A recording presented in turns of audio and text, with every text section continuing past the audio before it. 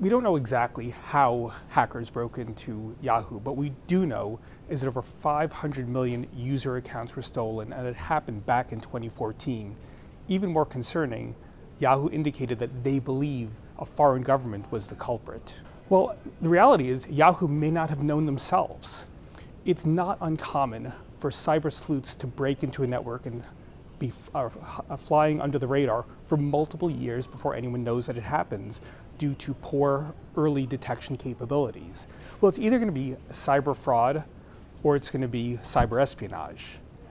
In the case of cyber fraud, your user accounts are like gold to cyber fraudsters and so much more interesting than emails in your account about your cat.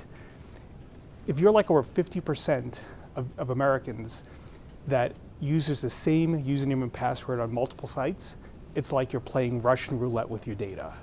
Think about it. With your Yahoo account credentials, they could break, break into your frequent flyer program, um, your hotel loyalty program, maybe even your bank information. There's actually a, a thriving online marketplace, that's not just into one place, but into your entire personal life and putting your most sensitive information, all your financial details at risk to cyber hackers.